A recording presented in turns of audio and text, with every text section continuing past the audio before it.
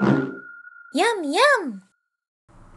Greg here from Pixel Fondue, and this fine looking flannel material you see here is an AXF material. And what is AXF, you may ask? Well, that is what this video is about. So it's a new material type that is supported by Modo 13, 13.1, I think initially, now 13.2 has uh, even expanded support for it.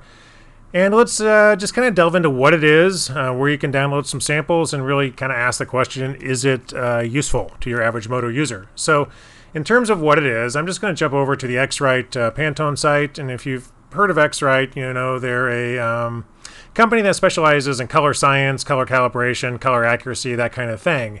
And they've put forth this um, appearance exchange format, AXF appearance exchange format, file format, with the idea that it's going you're going to be able to scan materials and virtualizes they say, materials. So just reading from their website here. So the AXF uh, file addresses the challenge of real-world integration in virtual design by providing a vendor-neutral format that allows the full communication of visual appearance in a single editable file in order to improve the virtualization process. Okay, what does that mean?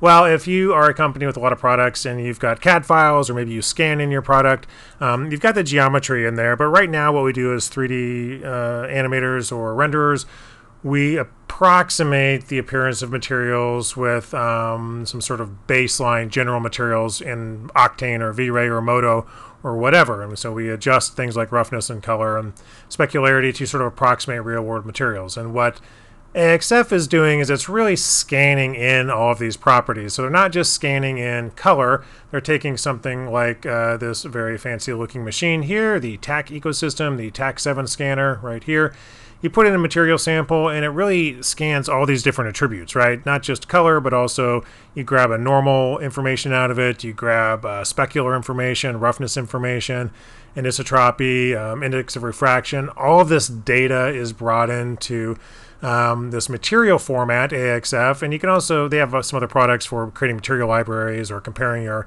uh, virtualized or scanned material with the real world material. And it's really aimed at a pretty high end clients, companies with a lot of products. So if you're, I don't know, Nike or BMW, and you want to virtualize or create 3D assets of all your real world products, um, you want to get your materials as accurate as possible. And the idea that just approximating these materials with a, a, glossy shader or a um, specular shader, an Octane or something, or Modo isn't enough. We're going to actually scan these things in. So that's the idea behind AXF. And it's an open format in that I think it's sort of available to anybody who wants to use it. I'm not sure. It could probably be modified to some degree as well. Um, and it's being supported now in in Modo and in, in, a bunch of other programs as well. I think Keyshot supports it as well as uh, V-Ray to some extent.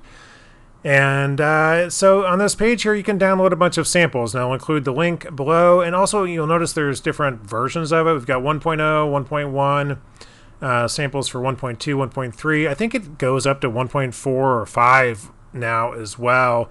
And I believe the idea behind uh, Foundry is to support everything, but right now they don't support everything you could download here. So unfortunately, these car paint materials 1.2, 1.3 uh, with clear coat car paint there. Uh, they're not supported in Modo right now. Hopefully they will be, um, maybe in the next version.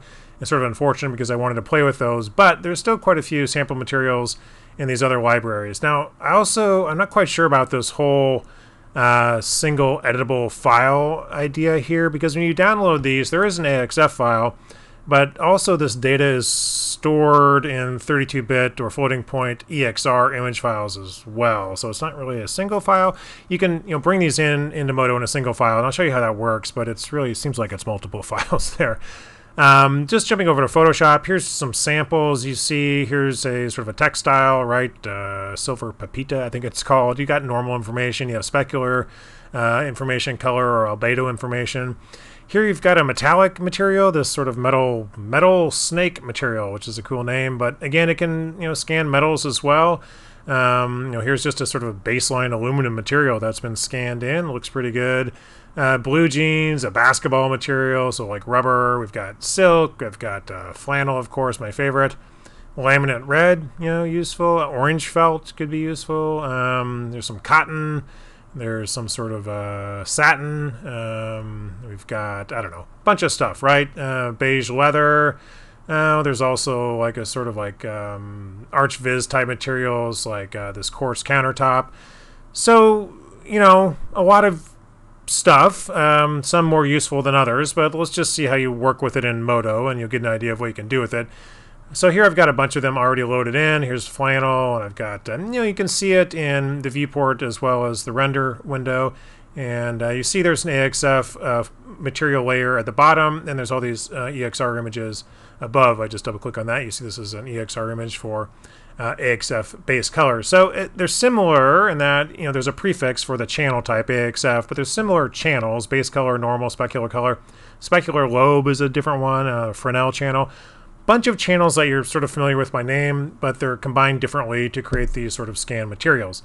Uh, if you want to load one up, you just go up here and you say add layer, custom materials, AXF material, and you get all these channels here. These are really just tweak channels, so you can actually tweak um, you know the AXF channels that are brought in. Click import AXF, and then you just grab something here. I'll grab, uh, I will grab red laminate. And so hit OK, and and uh, it'll bring in. Um, did I hit OK? Yeah, I did hit OK, and there it is. So it brings in all these images, right? So AXF base color, you got a normal, we got a specular color, specular lobe, clear coat normal, clear coat IOR. So a lot of different information in here. And if you look at your image folders here, it does put them uh, nicely organized in a little folder in your image list here. So red laminate. Here's all these images. I did notice that you know the files aren't really big; they're just 512 by 512. I'm guessing that the these are just sample files, and that you could actually probably scan them in at some you know 4K or some much larger resolution. I'm assuming because 512 is not that big. Um, they are floating points, so there's a lot of data in here. And anyway, so also because this is an EXR image, I'm assuming if you wanted to change this uh, color, you would just actually, you know, you could go into Photoshop and change the color. You could also use some of Modo's built-in tools to change the color. So here we've got AXF diffuse color right here. You also have a specular color, which is um, really just, uh, it's not like it's a metal, so it's just a, a, grayscale image there. So we don't really need to change that color. If we want to change the diffuse color, I could add a Modo process node. So processing, process, and you just want to make sure it's above the, the layer you're trying to process and then I can you know switch the channel to um, AXF. Uh, I think is it diffuse color, base color? That's what it is. So AXF base color. I'm going to process that. So I can just rotate the hue, you know, do whatever here. And I've got a blue laminate. So you can tweak these. It is useful in that way. Um, you can also, for instance, if I just, I'm just going to group these, shift click and control G to group these together. And I'll just call this um, red uh, lamb or something like that, red laminate and put it inside my um, shader ball, which is, whoops, actually, I didn't want to do that. Undo that. Unselect the shader ball uh, organizational layer. Now I'm going to group it. Call it red lamb. I'll just edit that out. Just edit that out. Not really part of the tutorial, but actually I probably won't edit it out. Sorry. Keeping it in. Keeping it in. Um, okay, so I've got uh, I've got like aluminum in here. So here's just that metal from earlier. And again, these little uh, tweak um, channels here on the AXF material layer. So I can, you know, tweak like the specular color multiplier if I want to make this look like a, let's say a red anodized aluminum. I can tweak that and tweak the base color as well. And now I've got like a, a red aluminum, right? So you can tweak these. Uh, all, you know, the, the normal scale can be tweaked as well. So all this stuff can be tweaked, and you can also process it, and you can also edit um, these images, I suppose, especially the base color or specular color images in Photoshop to, I suppose, expand your material library. Uh, but beyond that, there's not a lot else there, right? Because, you know, these are all scanned materials and there's a number that you can download from the site, but that's about it. I've kind of scoured the internet and haven't found any others really. So unless you buy one of these uh, machines, which I don't think you're going to do, you're sort of limited to what you can download from the sample library. And it's, you know, not a lot really. So you might have a client that, you know, if you're doing product renders or product animations, your client may have AXF files, just like they would have a CAD file. So they would give you CAD geometry and they'd also give you AXF files for all the materials.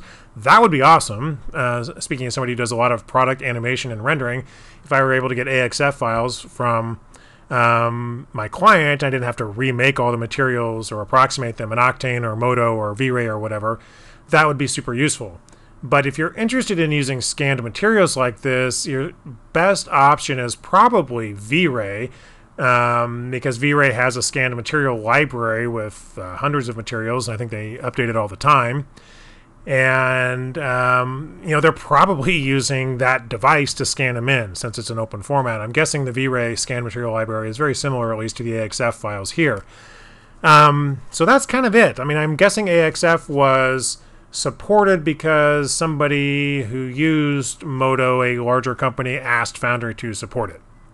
So we benefit from that and that we get AXF but until there's some sort of purchasable library, we're sort of stuck with the uh, materials in the free samples folder. And you know, like I said, you can you can edit those a little bit, um, but you know, it, it's a limited library of of materials. And unless you're going to buy one of those devices, we're just kind of stuck with that. So that's really what AXF is. That's what it does clearly uh, it makes some pretty nice looking materials. Like there's an orange felt material here i thought was kind of cool. Here it is down here. I'll just turn that on. And like i said you can you know adjust these um, with some of the modo nodes here. So i've got a diffuse color and a specular color and i can you know i can add these process channels and um, you know change the base color here and uh, you know again like shift the hue 90 degrees and get a slightly different looking um, felt here, and I, am getting the orange specular color, so I want to duplicate that and put it above specular color and also process the specular color, and so I get a fully green felt. And that's a nice looking green felt, and so if you need felt or some of these other materials that are in the AXF library, certainly use them. Uh, they're at our disposal, but you know they're a little bit limited for now. But it's nice to see this kind of thing supported in Modo and you know maybe this is the future where we, where we will see you know these massive scanned libraries, sort of like you see Megascans now. Uh, but Megascans isn't um, scanning the amount of data that this uh, AXF file is supporting. So Megascans, you're getting, you know, uh, glossy and, and roughness, or and you know specular and uh, albedo and all that stuff. Normal, glossy, and roughness, same thing really, inverted. But um, but you're still working with the, the BDRF of whatever shader and V-Ray or Modo or or Arnold or Redshift or whatever that comes with that rendering program where you know the AXF file is really bringing in the microstructure and sort of a custom BRDF of, of that physical material and that's really what sets it apart from you know these material approximations that we typically do in our 3D rendering programs. But you know, that's all. That's all I've really got. It's a nice, fine-looking green felt, uh, suitable for a golf course, maybe. And uh, yeah, download them and uh, screw around. It's kind of fun. Yum yum.